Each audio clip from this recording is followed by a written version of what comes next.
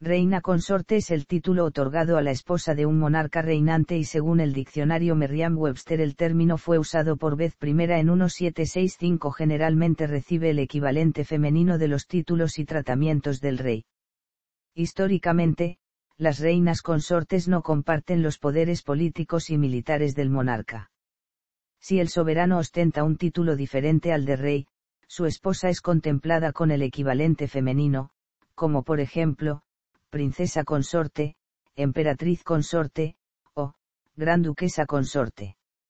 A diferencia de una reina consorte, la reina que lleva el título por derecho propio suele obtenerlo por haberlo heredado tras la muerte del anterior monarca. En el Imperio Otomano la única en llevar este título fue Basaseki Urrem Saltan quien lo usaría bajo el título Aseki Saltan. Lista de consortes. Europa. Asia.